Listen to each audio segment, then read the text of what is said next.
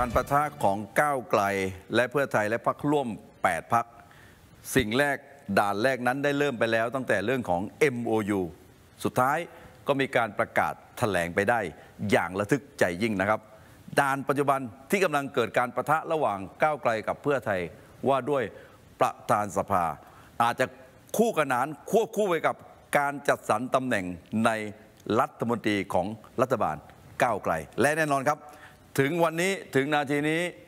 พรรคก้าวไกลประกาศชัดเจนแล้วครับว่า ประธานสภาเนี่ยมีความจำเป็นกับก้าวไกลยิ่งโอ้โหเป็นเหตุผลที่บอกว่าทำไมครับจึงพยายามขับเคลื่อนว่าเก้าอี้ตัวเนี้ยครับ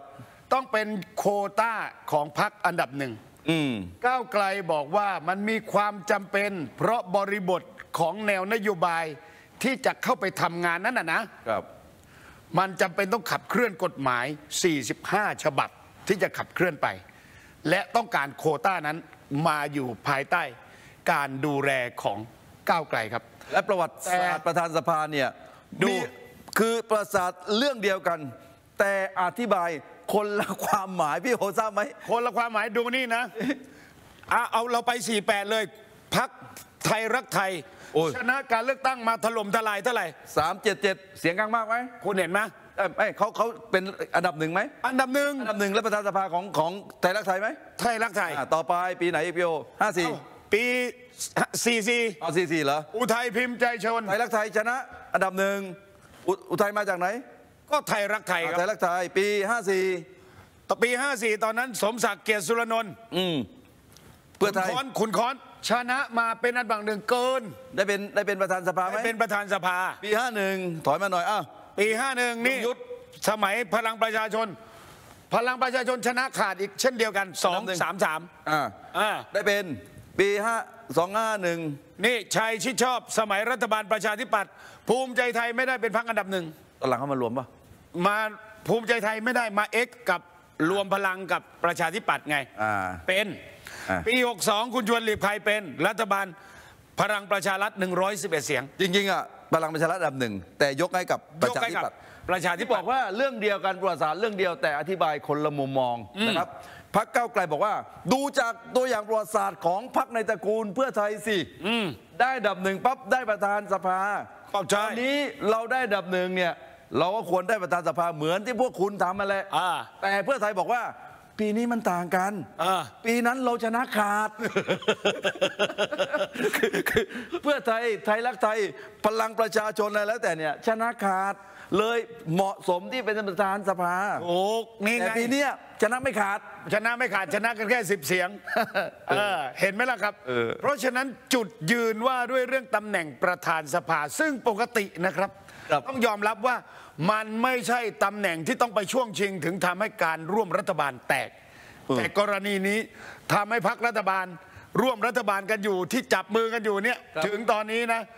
มันไม่แตกครับโยนระเบิดใส่กันประเภทแบบว่าซึ่งหน้าเลยล่ะต้องบอกว่าการจัดตั้งรัฐบาลก่อนหน้านี้นะด้านหนึ่งอาจจะพักอันดับหนึ่งมันชนะเยอะไปอ่าเลยคนอื่นต่อรองไม่ไม่ได้นะ ไม่ได้ เพราะเขาเอาเก้าอี้รัฐมนตรีเออแต่ว่าแต่ว่า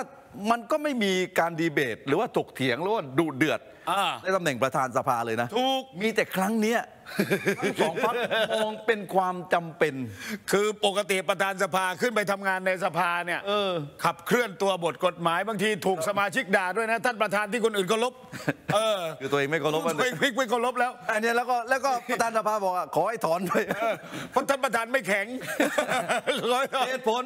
ทำไมประธานสภาต้องเป็นก้าวไกลเออก้าวไกลเนี่ยออกมาอย่างต่อเนื่องครับโอ้ตั้งแต่วันพฤหัสตั้งแต่วันศุกร์นะวันพฤหัสออกมาเลยนะสามวาระต้องผลักดันในสภา จึงประธานสภาจึงมีความจำเป็น วาระที่หนึ่งผลักดันกฎหมายก้าวหก้าวหน้าน้า โอ้โหนี่ มีกระบวนการนิติบัญญัติที่ก้าวหน้าครับจึงจำเป็นอย่างยิ่งที่ต้องเข้าไปดูแลและทำให้กฎหมายของก้าวไกลเนี่ย เข้าไปสู่การพิจารณาและรับรองการพิจารณาอย่างรอบคอบรัดกุมและมีโอ้ประสิทธิภาพ เพื่อผลักดันให้การแก้ไขรัฐธรรมนูญนี่เออสำคัญเลยนี่ เป็นประชาธิปไตย ทุกพักมีเจตนารมณ์ร่วมกันว่าจะแก้ไขรัฐธรรมนูญแต่ก้าวไกลบอกว่าเพื่อผลักดันให้เป็นประชาธิปไตย และต้องทำภารกิจให้นี้ให้รุ่ล่วงให้ได้ และประธานสภาในมุมของก้าวไกลนั้นจำเป็นเพื่อที่จะผลักดันสภา ให้เป็นรัฐสภาที่โปร่งใส เพราะประธานสภาเนี่ยก็คือประธานรัฐสภาเออนั่นน่ะสินี่วาระที่สามที่ต้องบอกว่าที่ต้องผลักดันในสภาเนี่ยครับคือก้าวไกลต้องการหลักการเนี่ยรัฐสภาโปร่งใส ประชาชนมีส่วนร่วมเออประชาชนมีส่วนร่วม และไอ้กฎหมายสำคัญที่จะต้องขับเคลื่อนไป 45 ฉบับเนี่ยนี่ภารกิจของก้าวไกลไงใช่เพราะมีกฎหมายที่ตามที่เอ่อสัญญาไว้ตอนหาเสียงเนี่ยเออ จะขับเคลื่อนเนี่ยมี 15 ฉบับดูที่พี่โอ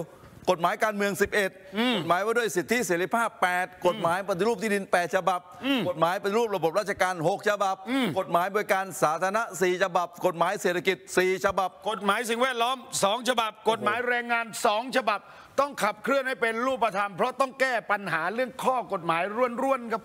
แน่นอนครับประเด็นว่าด้วยเรื่องเก้าอี้ประธานรัฐสภาที่แย่งกันอยู่เนี่ยมันจะเป็นจุดแรก ของความขัดแย้งในเรื่องของผมยอมคุณไม่ได้ คุณยอมผมไม่ได้ และรัฐบาลที่เป็นพักร่วมรัฐบาลเนี่ยแค่เริ่มต้นนะ มันก็หมางกันซะแล้วเนี่ยรับรองเลยครับ เข้าไปสู่การพิจารณาสภาเมื่อไหร่ มันก็หมางกันครับ แน่นอนครับพรรคก้าวไกลถึงขั้นแบบความขัดแย้งตรงนี้ต้องออกมาแถลงข่าวเป็นเรื่องเป็นราวเลยเออโดยรองหัวหน้าพักคุณสิริกัญญาตั้นสกุล บอกว่าพักก้าวไกลอะมีความจำเป็นต้องได้ตำแหน่งนี้ไว้ ถูกต้อง เพราะนอกเหนือจากอำนาจฝ่ายบริหารแล้วยังมีสามวาระที่ต้องมีประมุขฝ่ายนิติบัญญัติเนี่ยเออจะต้องช่วยขับเคลื่อนให้เป็นรูปธรรมพอวันศุกร์ก็ออกมาย้ำนะในเพจบอกว่าเอ่อไม่ต้องการได้ซึ่งมหาอำนาจแต่ต้องการเปลี่ยนแปลงถูกโอ้เห็นไหมล่ะนั่นไหนพรรคก้าวไกลแล้วก็ยืนยันว่าเราจำเป็นที่จะต้อง มีตำแหน่งของประธานสภาไว้กับพรรคก้าวไกลนะคะ เพราะว่านอกเหนือไปจากการที่จะต้องใช้อำนาจของฝ่ายบริหารแล้ว เรายังมีอีก 3 วาระนะคะที่จำเป็นที่จะต้องได้ตำแหน่งที่เป็นประมุขในฝ่ายนิติบัญญัติเช่นเดียวกัน ไม่ว่าจะเป็นการผลักดันกฎหมายทั้ง 45 ฉบับของพรรคเพื่อให้ได้ทำตามนโยบายที่ได้หาเสียงเอาไว้ รวมถึงกฎหมายของพรรคการเมืองอื่น หรือกฎหมายที่เสนอโดยประชาชนนะคะก็จะสามารถทำได้อย่างรวดเร็วนะคะที่ผ่านมา 4 ปีเราน่าจะเห็นแล้วว่าตำแหน่งของประธานสภาเนี่ยมีความสำคัญมากแค่ไหนในการที่จะอำนวยความสะดวกหรือว่าขัดขวางการออกกฎหมายเพื่อประโยชน์ของประชาชนนะคะนั่นคือฝั่งก้าวไกลแต่เพื่อไทยก็ไม่ยอมครับโอ้โหไม่ยอมยกให้ครับ เพื่อไทยบอกว่าเนี่ยประธานสภาควรเปิดเปิดทางให้ผลักดันทุกนโยบายเออไม่ใช่แค่เพื่อไทยเอ้ยไม่ใช่แค่ก้าวไกลถูกต้องต้องเป็นกลางไงต้องเป็นกลาง และไม่ใช่ผลักดันวาระของพรรคใดพรรคหนึ่งเท่านั้น อืม และปัจจุบันเนี่ยในฐานะของรัฐบาลผสมเนี่ยมันมีภารกิจสำคัญใน MOU ทุกคนอะ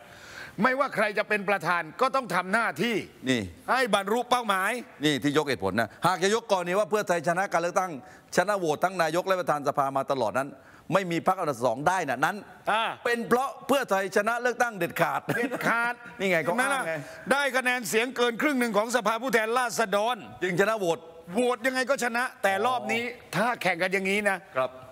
ไม่แน่นะเออโหวตแข่งกันอะครับ จะมีมือที่สามปฏิบัติการทันทีเลยครับ เออนี่นอนล่าสุดปีโอเมื่อวันศุกร์เพื่อไทยก็ออกโอ้นี่ไงโต้ statement นี่นะ เพื่อรณรงค์แบบเนี้ยก็ออกแล้วต้องแบบยึดว่าให้คนเข้าใจยังไง ประธานสภาของประชาชนทุกคนเห็นยัง ประธานสภาคือคนทำหน้าที่ควบคุมการประชุมและ พิจารณาขับเคลื่อนการออกกฎหมาย เพราะฉะนั้นสสทุกคนนี่ท่านประธานต้องดูแล ประธานสภาของประชาชนทุกคนไม่ใช่ของพรรคใดพรรคหนึ่งใช่ที่พยายามบอกว่าก้าวไกลเนี่ยให้เหตุผลเลือกประธานสภาให้กับให้กับคนก้าวไกลเหมือนจะเป็นประธานสภาของก้าวไกล ครับ แต่ประธานสภาของประชาชนทุกคน ตามรัฐธรรมนูญมาตรา 1 1 6 1 1 9 นี่อ้างเลยนะ อ้างเลย ประธานสภาต้องปฏิบัติหน้าที่ ด้วยความเป็นกลางเออโดยเป็นประธานของสสทั้งสภาเออฝ่ายค้านและรัฐบาล นั่นแหละ การยกเหตุผลว่านี่ไม่ไม่อะไม่ต้องบอกก้าวไกลก็รู้ว่าเป็นก้าวไกลครับ การยกเหตุผลว่าจำเป็นต้องมีประธานสภา เพื่อไว้ผลักดันนโยบายของพรรคแกนนำเห็นอย่างเมื่อกี้อ่า45 ฉบับกฎหมายนะ จึงเป็นความผิดเอ่อความคิดผิดมาตั้งแต่ต้นเออเท่ากับว่า บทบาทให้ประธานสภาไม่เป็นกลาง เอาละสิคุณเห็นหมัดไหมปะทะกันมันไหมล่ะ ประดาบก็เลือดเดือดครับ ครับ ตอนนี้ไม่รู้เป็นยังไง ไม่รู้ไผเป็นไผ เพื่อไทยประกาศเปิดสุขทุกรูปแบบยึด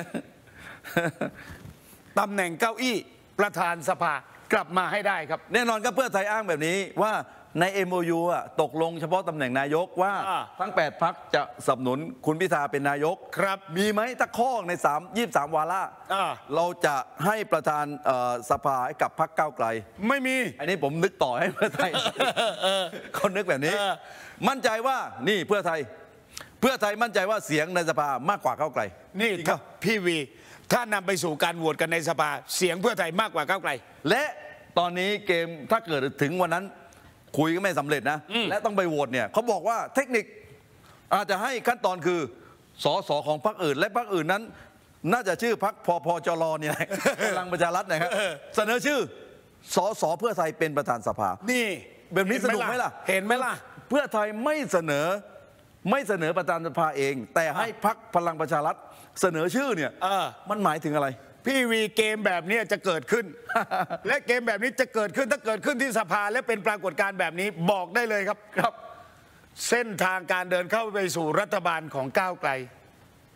แผ่แตกครับไปแตกแน่เลยเหรอแผ่แตกครับถ้าเป็นแบบนั้นอะไปแตกหมายถึงว่าเพื่อไทยถอนออกมาเหรอเพื่อไทยเอาเขาถ้าเสียงรับรองการประชุมเช่นมาคุจากณรับด้วยนะ ปั้งรับ สมมติว่าพลังประชารัฐหนุนด้วยหนุนหนุนเพื่อไทยด้วยหนุนเสียงพลังประชารัฐมาหนุนเพื่อไทยเนี่ยนะใช่แล้วเสียงอีกฝากหนึ่งก็มาหนุนฝั่งเพื่อไทยแล้วคุณคิดว่าประธานสภาจะเป็นเสียงใครก็เสียงก็ก็ก็เสียงเพื่อไทยนะเออคุณเข้าใจภาพหรือยังเดี๋ยวจะอารมณ์ลอยแพก้าวไกลเหรอถูกโอ้แบบนั้นเลยเหรอถูกผมเพราะเพราะฉะนั้นเอออย่าให้ถึงในสภานะฮะก้าวไกลกับเพื่อไทยไปคุยกันตกก่อนว่าสุดท้ายแล้วยอมจำนนกันยังไง ตอนนี้เพื่อไทยใสคุณหมอชลนาน ครับมีใครอบ้าองกตอนมาเนี้ยข้างหน้าเลย บอกว่านี่คือตัวเต็งเก่งหนึ่งที่จะเข้าสู่ตำแหน่ง ใช่ไหมเออ คิดว่าใช่ไหม ตอนนี้ไม่รู้แต่เขาผลักคุณ หมอชลนานท่านจะอยากเป็นหรือไม่อยากเป็นไม่รู้ แต่นั่นคือใส่ช้างออกมาแล้ว แล้วฝั่งฝั่งฝั่งก้าวไกลใครอะฝั่งก้าวไกลตอนนี้เขาบอกกันว่าจะเป็นสองคนครับคุณนัทคนวุแรฒิกคุณนัทวุนัฒิทวุฒิบัวประทุม โอ้ก็ใช่นะ คนที่สองล่ะ คุณธีรัตน์ธีรัตน์ไม่ใช่ ธีรชัยที่ลงที่ลงที่ลงปฏิริษกทมนั่นแหละ ไม่เมื่อก่อนปฏิริษใช่ไหมเออสละปาติลิศนั่นแหละ เอาแล้วหมออ๋องอะมาลง หมออ๋องมีไหม เขาได้ยินว่าถอยถอยๆมาแล้วตอนเนี้ยเพราะฉะนั้น เอาประเภททีเด็ดทีขาดละ เพราะฉะนั้นความสำคัญอย่างที่บอก เอ้ยทำไมมาครั้งเนี้ยประธานสภาเนี่ยถึงสำคัญต้องแย่งกันแบบดูเดือดมาก เพราะเป็นประธานสภาของสองสภาครับ เป็นประประธานสภาผู้แทนเป็นประธานรัฐสภาเออ โอ้โหใหญ่ไหมทั้งสองเก้าอี้ เป็นประธานสวด้วยนะทุกโอ้โห มีบทบาทในการเสนอกฎหมายสำคัญ ต่อไปสวจะหมดอำนาจไปเรื่อยๆนะ มีบทบาทในการเสนอกฎหมายสำคัญสำคัญถูกกำหนดเพื่อแต่ตรงเนี้ยข้อเนี้ยเพื่อไทยบอกเองนะอ่า45ฉบับเขาต้องการเสนอนิรโทษกรรมหรือว่าอะไรแล้วแต่เกี่ยวมองอ่าสองก็จะเสนออากำหนดทิศทางคุมเกมตำแหน่งตอนเลือกนายกรัฐมนตรีก็ใช่ดิโอ้โหเดี๋ยวนี้นะเขาใช้โหวตกันที่สภาครับนายกรัฐมนตรี แต่คนกำหนดเกมอะคือประธานครับ หลายวาระนะอ่าประธานกันไม่ให้นำมาเสนอนะ ใช่เอออ ควบคุมการอภิปรายไม่ไว้วางใจ จะลงคะแนนไม่ลงคะแนน หัวใจอยู่ที่ประธานสภา นี่ พิจารณากันเสร็จประธานไม่บรรจุก็จบ การกระทู้ต่างๆนะ เออ มีผลไหม มีโอ้โห กระทู้คือคือการซักฟอกรัฐมนตรีครับ การแต่งตั้งกรรมการกิจกรรมที่เป็นประโยชน์กับสภา ใช่ ตั้งไม่ตั้งประธานสภาต้องเซ็น เซนเป็นผู้นำชื่นนายกรัฐมนตรีขึ้นทูลเกล้าต่อพระมหากษัตริย์ คือการขับเคลื่อนกฎหมายสำคัญจะไปอยู่ในมือของประธานสภาครับเออ แต่ตำแหน่งนี้ถามว่าเป็นตำแหน่งมีเกียรติในฐานะ ครับ ของประมุขฝ่ายนิติบัญญัติครับ แต่เป็นตำแหน่งที่ ต้องบอกว่าในทางปฏิบัติที่เป็นเรื่องของคนการเมืองที่อยากได้ตำแหน่งอะน้อยครับ เออ อย่างไรก็ตามความขัดแย้งเนี่ยตอนเนี้ยผมบอกแล้วคุณเสรีเนี่ยบอกว่าถ้าถ้าแบบหนึ่งกับสองทะเลาะกันก็ไปหาไปหาสามทางที่สามแต่คนที่สามเช่นเนี่ยวันนอวันนุมวนอาจารย์วันนองไง แต่เกมเนี้ยผมบอกเลย ถ้าผมเป็นเพื่อไทย ผมไม่รับมุกครับ ไม่รับเหรอเพราะผมแพ้ศึกครับ ผมร้อยสี่สิบเอ็ดเสียงครับไปสู้กับหนึ่งห้าหนึ่งสู้แล้วแพ้ ให้คนที่สามเมื่อไหร่ผมไม่ยอม เพราะผมจะเอากระทรวงที่ใหญ่กว่านั้น แต่เขาบอกว่าต้องอ่าอย่าลืมนะว่าศึกของประธานสภาครั้งเนี้ยอาจจะเป็นการเกมต่อรองกระทรวงเกรดเอไหมถูกแลกกับประธานสภาเป็นไปได้ปะเป็นไปได้ โอ้โห กระทรวงเกรดเอมีอะไรบ้างพี่โอว่าอะนี่เลย กระทรวงการคลัง มหาดไทย พลังงาน คมนาคม ครั้ง นี่กระทรวงเกรดเอนะกระทรวงเกรด A ตอนนี้ DES เนี่ยเข้าข่ายเกรดเอแล้วนะเกรด A เกรดเอแล้วนะเกรดเอเพราะฉะนั้นประธานสภาเนี่ยถ้าจะให้สำเร็จเนี่ยมันอาจควบคู่กับการต่อรองรัฐมนตรีใครกำกับกระทรวงไหน คุณเอากระทรวงอุดไปเลยแต่เอากระทรวง DES มาเออใช่ไหมอ่าใช่ไหมตำนองนั้นใช่ไหมคุณเข้าใจภาพไหมโอ้โหเพราะฉะนั้นการเจราจาว่าด้วยเรื่องของรัฐมนตรีครับในสัดส่วน 141 เนี่ยมันจะรุนแรงครับมากกว่าที่ 151 คิดไว้ เพราะฉะนั้นอ่าการต่อรองเรื่องตำแหน่งประธานสภา อาจจะคู่ขนานกับการต่อรองการเจรจาว่าด้วยกระทรวงสำคัญสำคัญ โดยเฉพาะกระทรวงเกรดเอครับพี่โอเพราะฉะนั้นต้องดูว่าสุดท้ายแล้ว มันจะลงตัวสมดุลกันที่จุดไหนครับ